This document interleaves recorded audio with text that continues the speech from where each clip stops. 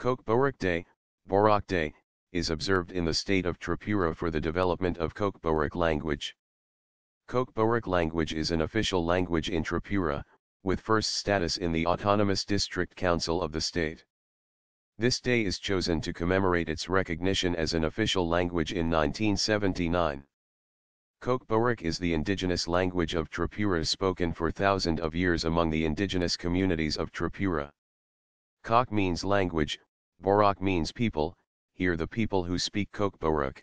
Kokborok language is one of the Tibeto-Burman languages widely spoken in northeast part of India and neighbouring CHT hill tracts of Bangladesh.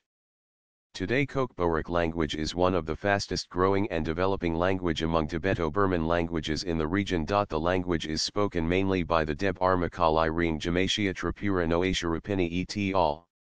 However the language has close similarities with other Tibeto-Burman languages like Bodo-Garo and Dimasa. The communities who speak Kokborok are categorized as Tripuri communities but Kalai and Rupini communities though known as Halam communities also speak Kokborok. Not only that Reang and Jamatia even though they are known as Bru and Jamatia respectively their language is Kokborok. Literally all these communities who speak Kokborok are known as Borok.